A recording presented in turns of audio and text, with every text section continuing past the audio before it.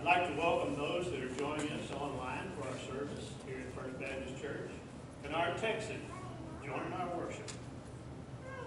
Our next hymn will be Since Jesus Came Into My Heart.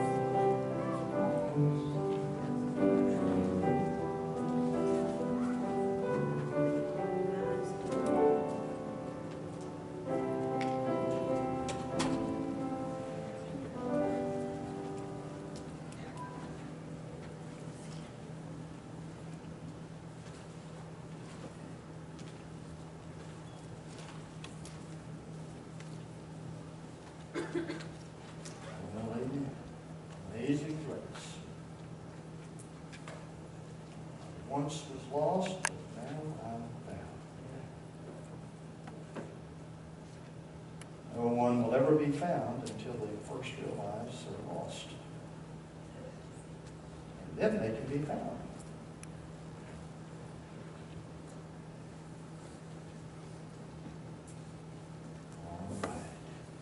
If you have your Bible, let's uh, turn once again to Ephesians chapter 4. We want to come back to our series that we were in before we took a break for the Easter celebration.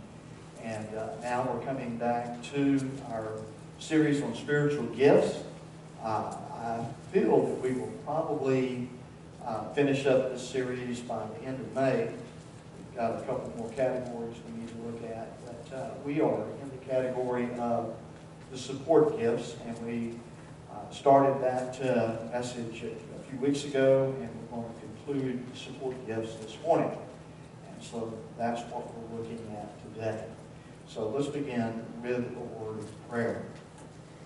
Father, we thank you for your word. We thank you for how it instructs us, teaches us, motivates us, gives us the knowledge that we need in our life to know how to glorify you, to live our lives before you, to see you working in our life. And so, Father, we just pray that you will open up our understanding this morning as we break open the word of life. And we thank you, Father, for your word. We ask you that you just open up our understanding to the uh, predominantly teaching time this morning. Pray that we will have an ear to hear. May the Spirit of God, as always, be our teacher. We will praise you for what you bring to us today. Pray in Jesus' name, and all of God's people said, Amen and amen. Spiritual gifts are a very important part of what we receive as a Christian, as a child of God. It's interesting that as Paul began the book of Ephesians, he reminded the Ephesian believers, and God reminds us today, that we are already blessed with every spiritual blessing in heavenly places in Christ Jesus. So we're already blessed, amen? With all of these spiritual blessings and riches that God has bestowed upon us. And part of that blessing, part of that uh, heavenly blessing He's given to us, these spiritual blessings, are spiritual gifts that He's given to the body of Christ. You know, without spiritual gifts, the church would really not be able to function very well at all. Not in a spiritual sense. Now, people could still come together in a building, like we do here, and they could gather together, they could talk about things, somebody could get up, give a little speech or a little something, and people get up, play a guitar, sing a song, whatever the case may be, and say they're having church, but they ain't having church. There's got to be that spiritual dynamic, amen? The gifts of the Spirit have to be involved in what we're doing. That spiritual dynamic has to be there. And these gifts enable us to do the work of ministry, to be able to minister our gifts to one another, and to be able to minister those gifts out to others around us. And because these are special enablements that we would not, in our own power, be able to do apart from the work of the Holy Spirit, you see, because the Spirit of God is energizing us in these spiritual gifts, He gets the glory. Let me remind you, anything you do in the power of your flesh is not going to bring glory to God. Not going to bring glory to God. It's got to be the work of the Spirit. Now, we are presently considering the support gifts. And in Ephesians chapter 4, verse 11, uh, in fact, let's read verses 11 through 13 once again. And here's what he says. And he himself, that is Jesus himself, gave some to be apostles, some prophets, some evangelists, and some pastors and teachers for the equipping of the saints for the work of ministry, for the edifying of the body of Christ, till we all come to the unity of the faith and of the knowledge of the Son of God, to a perfect man, to the measure of the stature of the fullness of Christ. Now, in verse 11, we have these particular gifted people that are presented to us here. And we are looking at what I call the support gifts. Now, let me put them on the screen for you once again so that we can be reminded of who we're talking about. The support gifts are missional in nature. And they are basically the, the, the uh, I'd say, the backbone of the church itself. Now, if you know anything about the human body, you know that we have a backbone, okay? And the spine is part of that backbone, and that's really the central support structure of our body, of our skeletal system. And, and so that spine is there. And, and, and it's what gives us, our bodies, that support. Well, all of these gifts right here on the screen that you're looking at are support gifts. They are the central support structure of the church. Amen? And, and, and think about those. I mean, you can look at them and you can see every one of them have been necessary in the New Testament church. We've already talked about apostles, and today a missionary is similar to an apostle in some of the things that they do. We've talked about the prophet that was in the New Testament church. Today, I don't believe we have apostles in the sense that apostles are going and giving revelation of God like they did in the early church. No, we have all the revelation of God right here. It's in the Bible. Prophets, we have a prophet today in the sense that, for example, my uh, preaching the Word, I am forthtelling the Word of God. Not foretelling the future, foretelling the Word. I am forthtelling the Word of God that is here. Amen? So we have prophets in that sense. Primarily today, we have the evangelist, the pastor, elder, uh, the teachers. And so uh, we've talked about these, uh, these first three in the last message. Now, looking at those, what do you see? You also see that they could also be speaking gifts, couldn't they?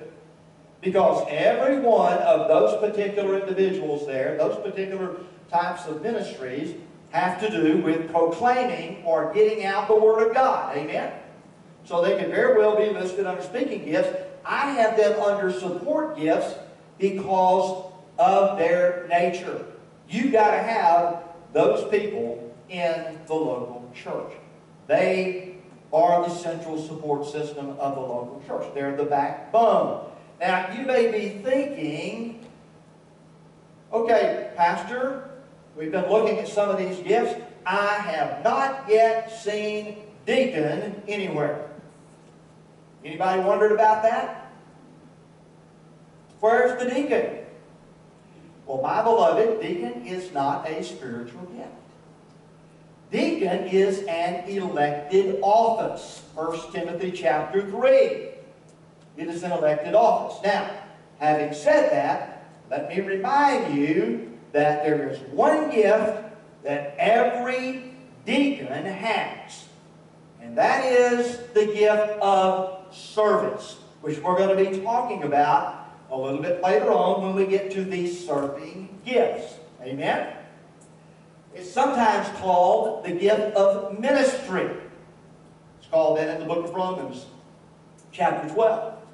And so every deacon has the gift of service, and if they don't have the gift of service, they're not a deacon. They call, they have whatever title they want to have, but if they're not a servant, they're not a deacon. Okay? But deacon is not a spiritual gift. Deacons have the spiritual gift of service. We'll talk about that later on. But that's why you're not seeing deacon, because somebody might say, well, deacons are a support gift. No, they're not. Just an elected office. Okay. Now, These particular gifts, these support gifts, as I mentioned, are the backbone of the church. And we know they are because look what Paul says these individuals do right here in verse 12. These are the ones for the equipping of the saints. Why do they need to be equipped? For the work of ministry. Well, what, what, what does that do? For the edifying of the body of Christ.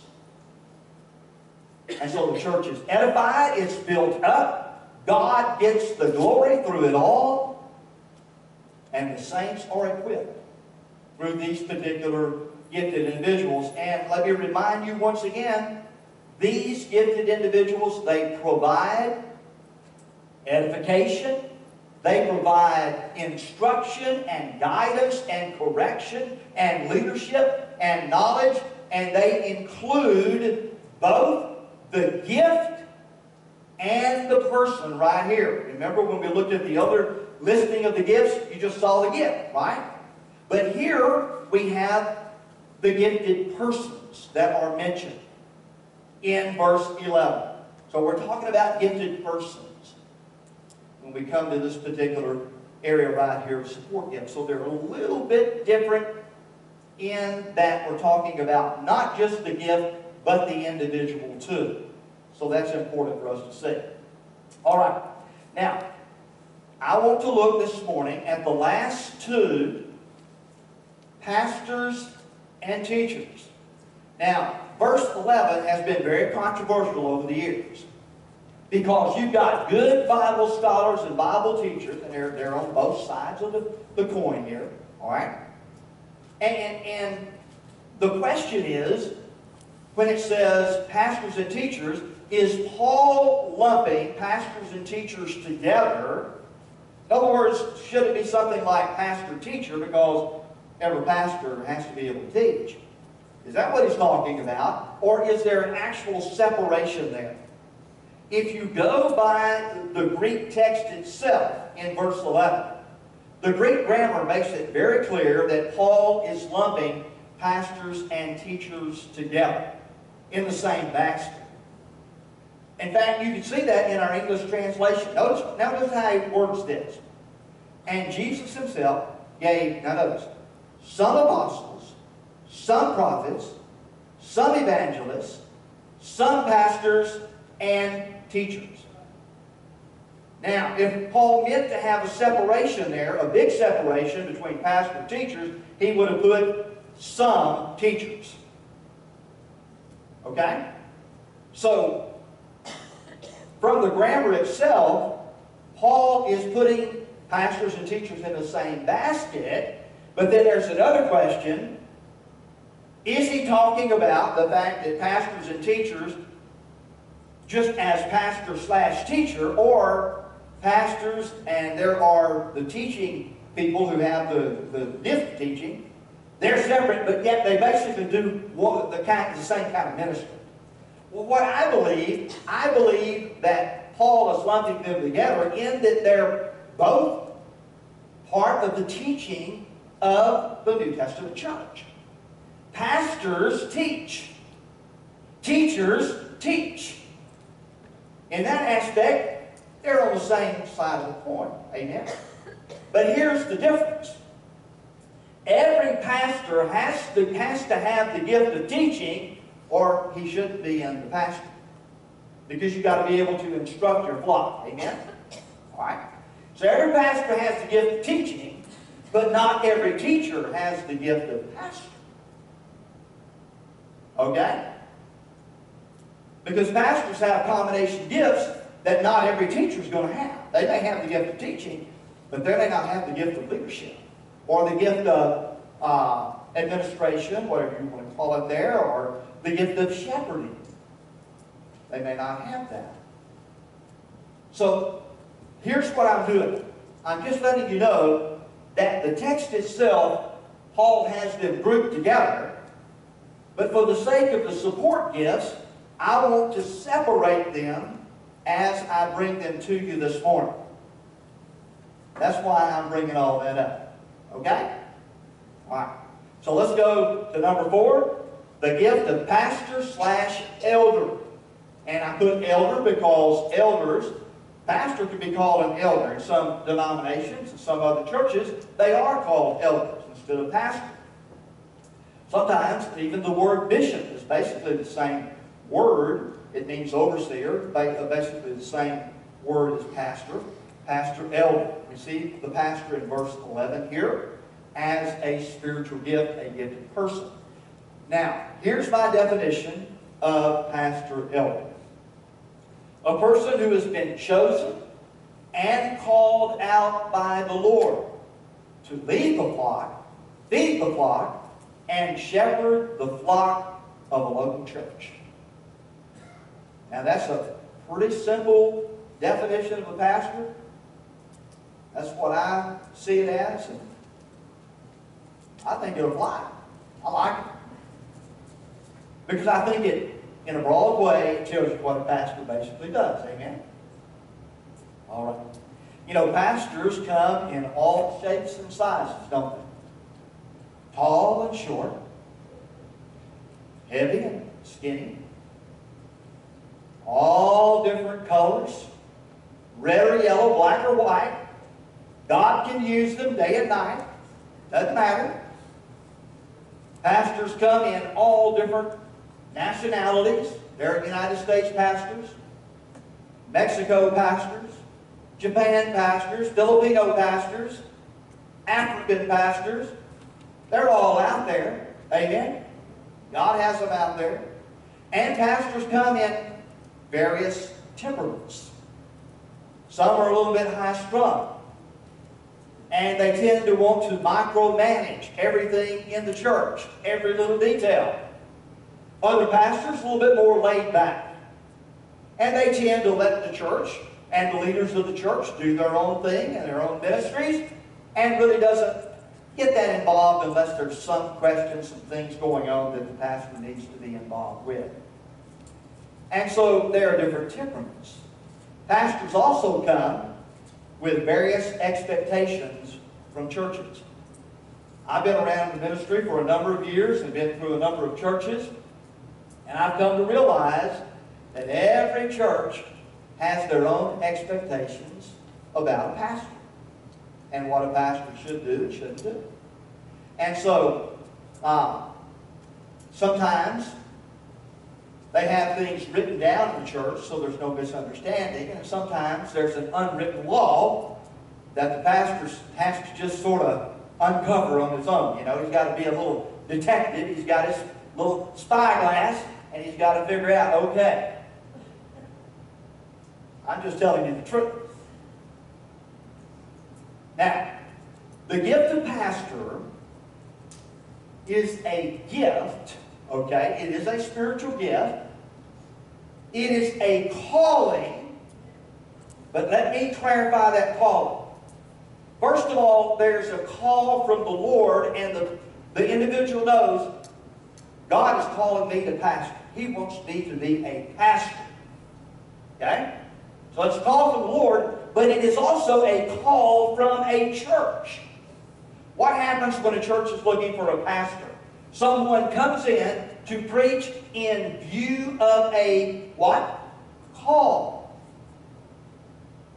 So the calling is both ways. But then not only is it a gift and a calling, it is also an elected office, just like the deacon is. Again, 1 Timothy chapter 3. And it is an elected office. I remember back in 2017 when I stepped down from my former church and, and retired from full from full-time pastoring. Okay? And one of my members, and boy, he just really could not understand. I had a hard time getting it across to him. He said, he said, I never thought you would quit. I said, who said I'm quitting? Well, you're retiring. I said, I'm retiring from the pastorate full time. Well, that means you're quitting the ministry. No, it doesn't mean I'm quitting the ministry. I'm still a preacher. I still have work to do for the Lord. Amen? And I couldn't get it through. And he said, Well, I don't understand. I said, Well, look, look, the pastorate is an elected office. I said, Now, if it's not an elected office, you know what that means? He said, What? I said, It means you can never fire a pastor. Think about that. Pastor can't be fired if it's not an elected office. He, stopped, he stopped there a second. He said, hmm, okay, I, I, yeah, I get that. But he still had a hard time with me retiring in that sense. Amen? And so, so you can see that there's a lot involved with, with the pastor, okay? A lot involved. Now, what is the pastor basically supposed to do? Well, what I want to do, I want to look at basic, I want to look at two passages, and from those two passages, I want to give you six basic things that pastors do. Okay? Let's go first of all to 2 Timothy chapter 4. 2 Timothy chapter 4, where Paul is writing to one of his preacher boys. Timothy, 2 Timothy chapter 4. Let me get over there. Now, this is familiar. Uh, just about all of you should, you've heard this. You, you probably know a lot of this by heart. But let me read verses 2 through 4. Here's what it says. Preach the word. Be instant in season and out of season. Convince, rebuke, exhort with all longsuffering and teaching. For the time will come when they will not endure sound doctrine, but according to their own desires, because they have itching ears. Paul says there's going to come a time in churches where the people who are sitting in pews, they're going to have itching ears. And they want their ears to be scratched so they're going to feel a little bit better. And, and he says, because they have itching ears, they will heap up for themselves teachers and they will turn their ears away from the truth because these particular false teachers are going to be scratching their ears just right where that little itch is. Oh, that feels so much better. And be turned aside to fables. Now, right here, we see three things that a pastor does. First of all, verse 2 would tell us that he exhorts the flock. That is the preaching aspect of his ministry. He preaches the word. He exhorts the congregation. He encourages the flock. He, he is motivational. He's trying to help the flock not only to grow, but also to be fired up for Jesus. Amen? And so he's a preacher. He is, he's an exhorter. And he should be doing that with unction and passion. There needs to be a little passion from the pulpit. And I'll be honest with you, whenever I watch preachers on TV or whenever I'm, I'm, I want to hear a little bit of unction. I mean, I, I, I just want to, to feel in my heart that this man really believes what he's saying. Amen. I always got to think back to what old Abraham Lincoln said years ago. I agree with him 100%. He said, when I go to hear a preacher preach, I want to see him preach like he's fighting a swarm of bees. Amen? In other words, Abraham Lincoln said, he said, I want to see this guy get down and get with the program. So I'm sure one of those, one of the, you know, a, a, a very dull, monologue type preachers, Wade wouldn't like it too much. I, I'm probably right there with Abe myself. I remember years ago when my wife and I, when we were younger in the ministry and everything, we would, all, we would go every year to the Southern Baptist Convention Evangelism Conference. Generally, was up in Fort Worth. And uh, uh, the Dallas-Fort Worth area. And so one day we went to, and I believe Kate was with me on that one, but uh, we went to see the, the conference, and boy, they had some good preachers. And there was a guy I'd never heard before, I knew about the little book he had written. He wrote a book called The Master Plan of Evangelism because it was taught in a lot of the Bible colleges and seminaries. I had it whenever I was in Bible college. And his name was Robert Cole. And I don't even remember the message he preached, but I can still visually see him preaching. He's the only guy that I've ever seen that preached and he had his Bible holding it up like this, and he would stomp that, that right leg all the time, and you could hear it on that platform. Boom! Boom! Boom! I won't forget that. He made an impression on me. I don't remember a thing he said. But that's been a long time ago. A lot of things I don't even remember what was said yesterday. Amen? Oh, man It's tough whenever you're getting old. But I, I do remember that. I remember that clearly. But you see, he, he, had, he was preaching the way the Spirit of God was moving him to preach. And he had some fire. There was fire coming from that place. And there was a great big old indention in that platform when he got through. They probably had to go in for repairs later on. Here's something else in verse 2 of chapter 4. He instructs the flock. That has to do with the teaching aspect of his ministry. It says, convince, rebuke, exhort with all long suffering, and what teaching? And so he's instructing the flock. He is teaching them. What does he teach? Sound doctrine, because that's what he talks about in verse 3. He says, Timothy, is we're going to come to a point where they're not going to want to hear anything about sound doctrine anymore.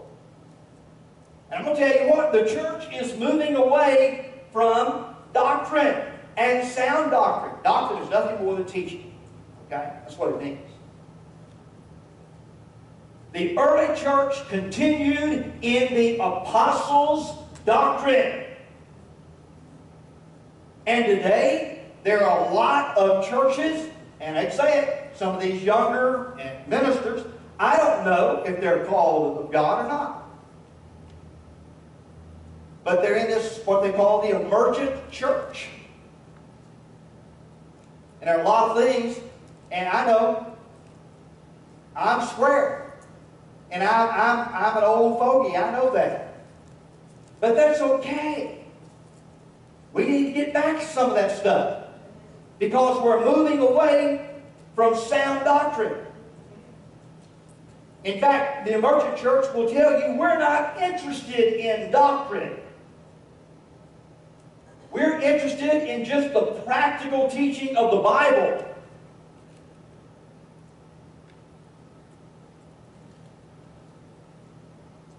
But you don't see that in the Scriptures.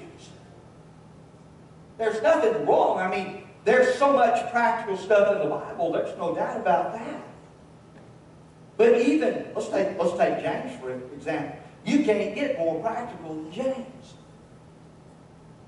And yet, even with his teaching about practical Christianity, he's got doctrine or teachings right in the mix.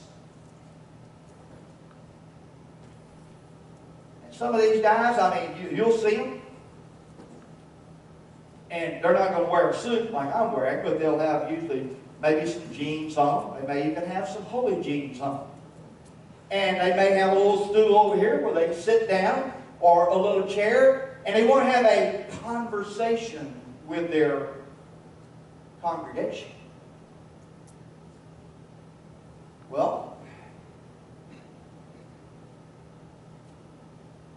verse 2 here says, preach the word.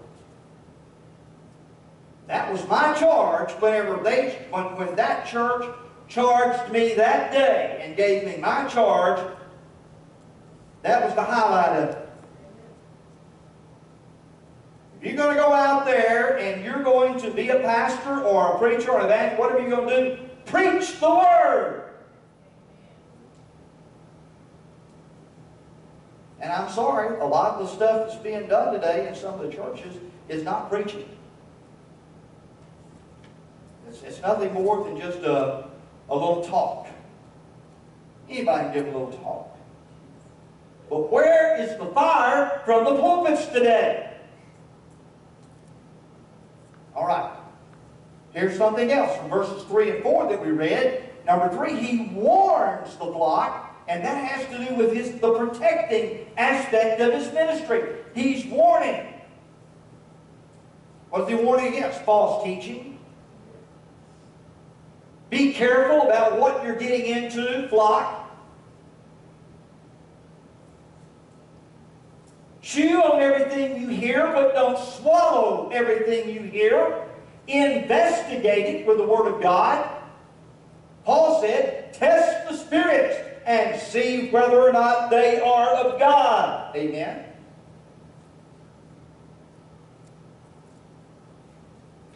And he warns, the pastor warns the flock to stay close to Jesus, to stay in the Word of God. And he warns the church of what can happen if you don't do those things. And how easy it is to slip away. And the next thing you know, you're a carnal Christian. And you have no excitement, no joy, no real peace. Because you're not walking in the Spirit anymore. He warns.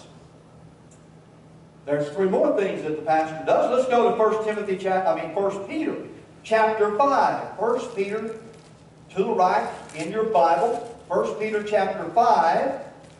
And there are three things in one verse that shows what the pastor does. 1 Peter chapter 5. And Peter says, he's talking about the elders. He says, I'm exhorting you elders. Elders are pastors.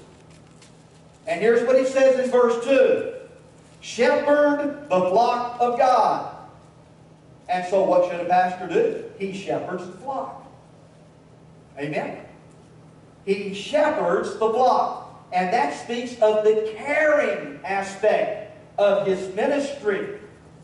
You see, in a flock of sheep, you're going to have younglings. Got to kind of watch after them a little bit. You're going to have older sheep that need a little bit more attention. You're going to have healthy sheep. You don't have to, you know, they, they take care of themselves okay. You don't have to, to deal with them that much. And you got sick sheep. They need a little extra attention. And so that's what Pastor does. He shepherds the caring aspect of his ministry. So he exhorts, he instructs, he warns, he shepherds. There's something else in this verse. Continue on. Shepherd the flock of God which is among you, serving as overseers. Don't miss that word serving there. You see, the pastor serves the flock. And that speaks of his giving, the giving aspect of his ministry. Just as Christ came to serve and give himself a ransom for many, the pastor is there to serve. And, if necessary, lay down his life for the flock. You say, oh, pastor, you wouldn't do that. Let me tell you something. Years ago, we were over in Guatemala on a mission trip. And I may have told you the story about but you remember those, I don't know if I told you, did I tell you one where we got, where bullets were flying and all that? Okay? Now, it's kind of long, I can't tell you that, okay? I'll tell you about that story later on. But I had some of my flock. We were there. And I'm telling you, when I get stopped in the middle of a message, I was preaching on Zacchaeus that night too. One of my favorite passages. And they say, hey, we got to shut everything down. We got gangs out here, and there's we've got bullets flying everywhere. They've got a gang war going on. And so anyway, as they're funneling us out, when we finally heard the gunfire, you know, die down, and they're funneling us out, I'm thinking as I'm watching some of my even younger members come out, Lord, I'll go first. I'm willing to lay down my life for my sheep. But you know what? I was amazed because what I saw the Guatemalan Christians do is in every alley as we were snaking our way through the city to cross the bridge and get back over to the van that we had to park way off because we knew we were in a very dangerous area and if we parked closer to the church, we wouldn't have had any tires or anything left on that van. Amen. They'd been gone.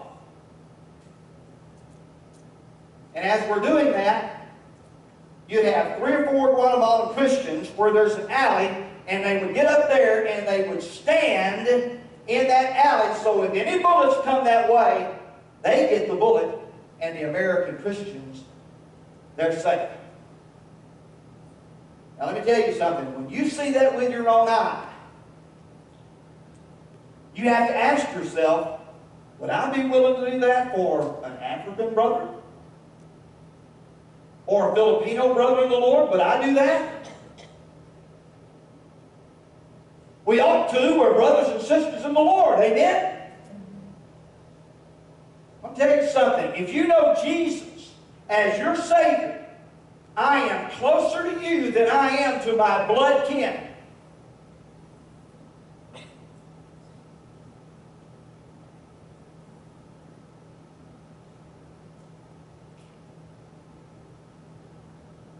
And even on mission trips when we had youth, wherever I wherever we went, I was protecting those young people. Part of my flock. And I was protecting them.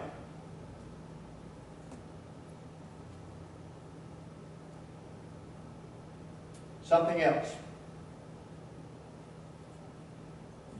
Look what it says. Serving as overseers. And so this speaks of the fact that the pastor leads the flock and he oversees. That's part of his ministry as a leader. He is overseeing. He leads the flock to do God's work, God's way, according to God's will and God's word. That's what he does. And so, he exhorts, instructs, warns, shepherds, serves, leads. And that's all a part of preaching, teaching, protecting, caring, giving, overseeing. How many of you would say that the pastor has a little bit of responsibility? Actually, has a whole lot of responsibility. You know, pastors were once highly respected in the United States. I would say it's not as far back as maybe 20 years ago, 15 years ago. There was a, a great deal of respect for pastors. It's not that way today. I'm going to tell you right now. Part of it has been speaking as a part of the clergy or minister, ministers, whatever you want to call us, it's been part of our fault. Because you've had a lot of pastors that have fallen They've gotten into sin. They've done things that they shouldn't have done.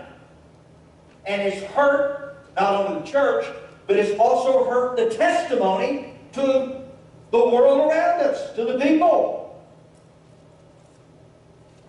I still believe that, I believe that Jimmy Swaggart is a saved man. But he had a mighty fall years ago. How many of you remember that?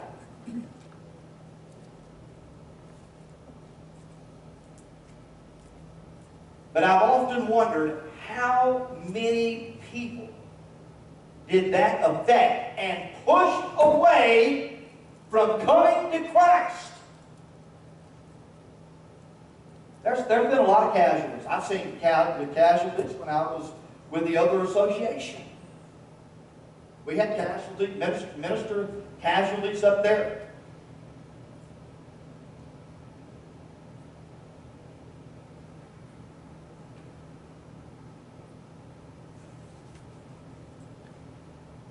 there, while there has been a lot of casualties, when I say casualties, I'm talking about ministers that have had to go, they've had to get out of the ministry.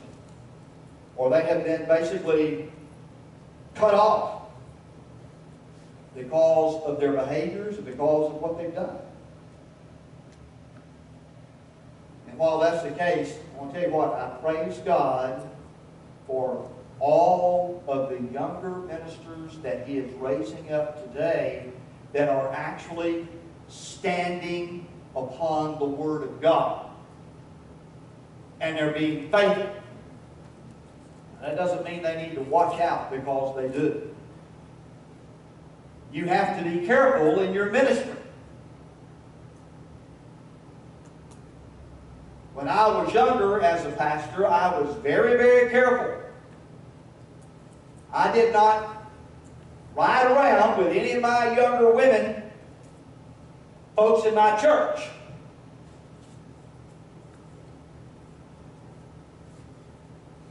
I'd have somebody else with me. I was very, very, very careful. You say, well, what was the big deal? Let me tell you something. All it takes is for one person to start talking. Amen? And next thing you know, you weren't just helping so-and-so in your congregation to get to a destination she needed to go to, but something happened along the way. Amen? And whether it's true or not, once it starts circulating, all you got to do is just watch Andy Griffith. Those little old ladies, Barney had a scratch on his trigger finger, and they had him killed off, what, in a couple of hours. He was dead. I'm just simply saying, I thank God for all of the ones that are really standing for the Word of God. Praise God for that. And the pastors today. Uh, there are a lot of ministers that are retired. They were in little old bitty churches, whatever, and they, they have hardly no retirement whatsoever. And so one of the things that I help support as part of my giving, extra giving to the Lord, is I support and give to the, uh, these retired pastors or their widows that don't have hardly much money to pay bills and pay medicine, med medical supplies and things like that. And that's through the convention. It's called Mission Dignity. And so I, I try to make sure every month I send a little bit to help out these folks. But I appreciate it. They put in long, long years in the ministry. And they were in little churches that couldn't, they couldn't afford to pay them very much. But they gave it all for Jesus. I'll do what I can to help them out. I can't, may not be able to give a whole lot, but I can give some. Amen? So I thank God for the pastors. I, thank God for that particular gift uh, that God has given. Now let's go to teachers right quick. The gift of teacher, and I'm throwing in teaching on this, and that's seen in Romans 12, 7. So I'm going to put teaching in here too, so that when we get to the serving gifts, we will move, uh, we, probably deal with that. Let me give you a definition. It's on the screen there. A person whom the Lord has given to the church. I believe teachers are given to the churches. And gifted with the special ability to communicate spiritual truth from the Word of God in such a way that believers grow in grace and in the knowledge of the Scriptures. Now, those who have the gift of teaching the Word of God are a major part of the ministry of a local church. Major part. They are instructing others in the Word of God. And Spirit-filled teachers are gifted to communicate and to convey spiritual truths from the Bible. Not just to communicate it, but to get it across.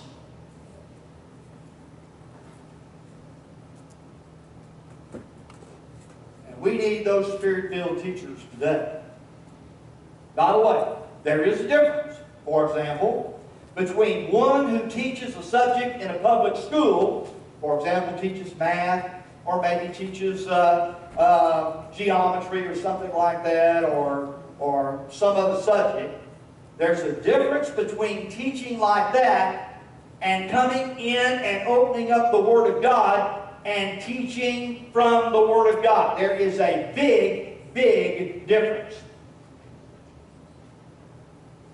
You've got to be able to communicate spiritual truth. And by the way, anyone aspiring to be a teacher should always remember James 3 1. Here it is on the screen. My brethren, let not many of you become teachers, knowing that we shall receive a stricter judgment.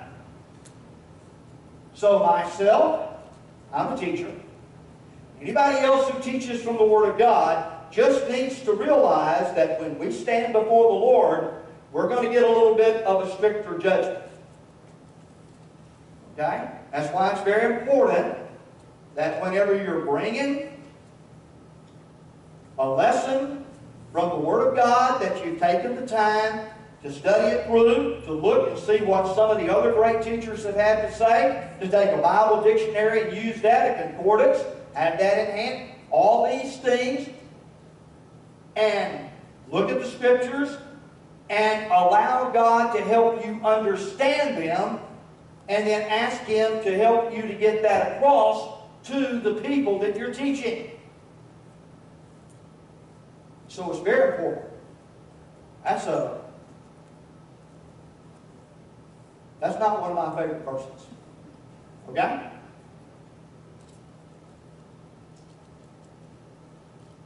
Stricter judgment is coming for us who teach. Now, I thank the Lord for all teachers that I believe He is the one who raises up in local churches. Pastors can't do it all. They can't do all the teaching. You have to have various teachers. And I believe the Lord, He not only lays it on the heart of an individual, but with the gift of teaching, that spiritual gift of teaching, that individual is able to get into the Bible and to bring things out to their particular class. And that is very, very important. So I thank God. I thank God for all the teachers here at First Baptist Church. I pray for you. I pray you'll have wisdom and that you will do well in your teaching. Years ago, a preacher friend of mine, and he's a casualty, by the way. It's, it's so sad because I'm telling you, that guy had, he had the fire of the Lord. He could have easily been a very high ranking evangelist, there's no doubt about that. But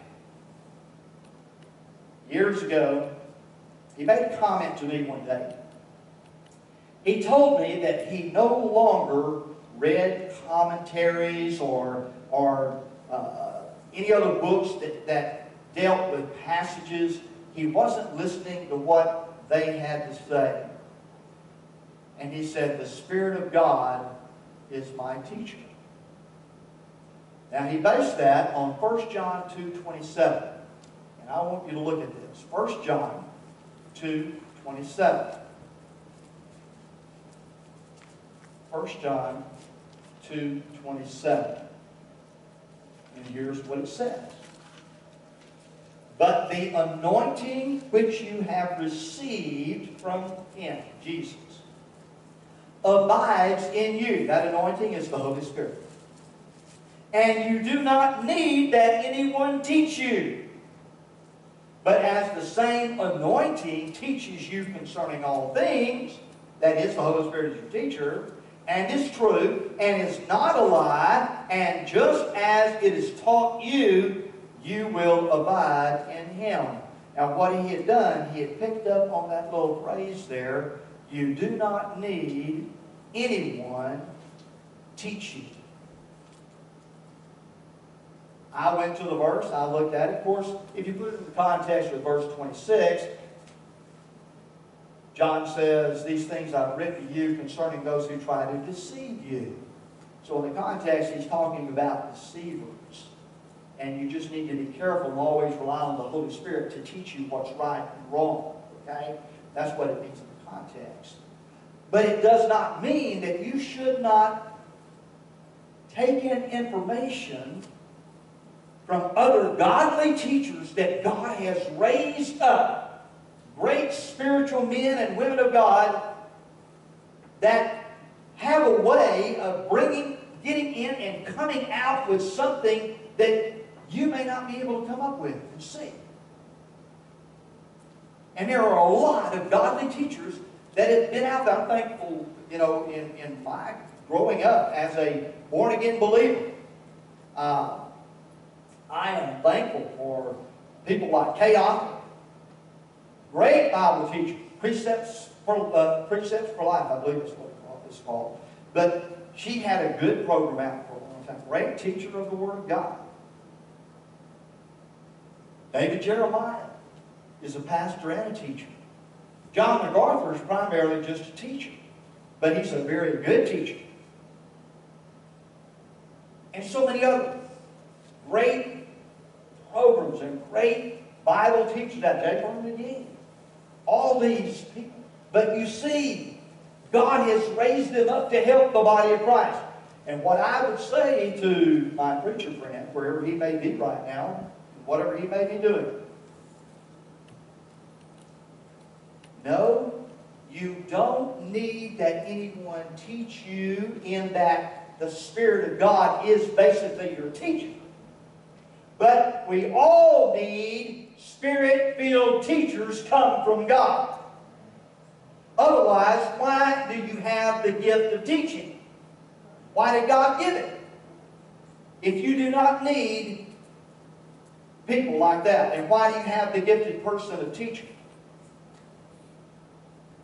You see, he was wrong.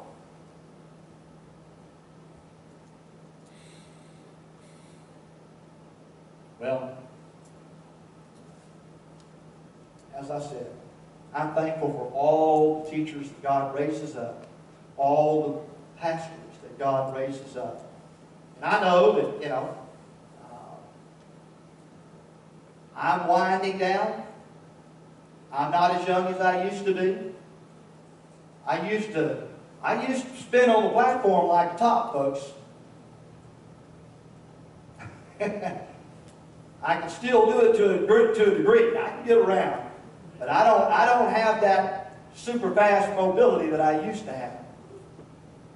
In one of my earlier churches, I'd get right on the edge of the platform, and I and this lady, she kept saying, "I'm just, I've just been waiting for you to just fall flat off that platform." Well, if I'd have fell, I'd have fell right in her lap, amen. But you know, I don't, I don't have the the vigor that I had when I was younger, but I still got a little fire. I still got a little bit of fire. And I'm thankful for that.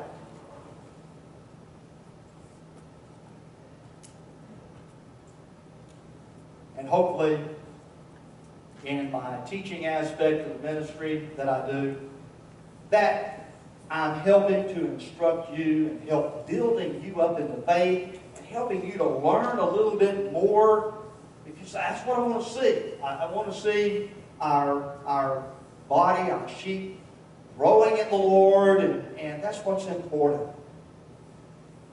And more than anything else, see you just fired up Jesus. Man, he's worth getting fired up about, amen?